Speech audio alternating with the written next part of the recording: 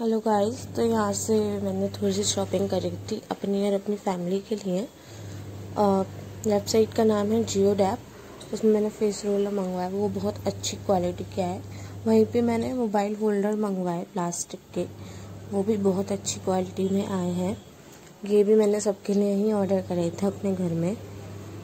और आप जो देख सकते हो इसमें मैंने फोर को कॉम्बो ऑर्डर किया था। बहुत ही रीज़नेबल प्राइस पे मिलते हैं यहाँ पे आपको प्रोडक्ट और, क्या कहते हैं?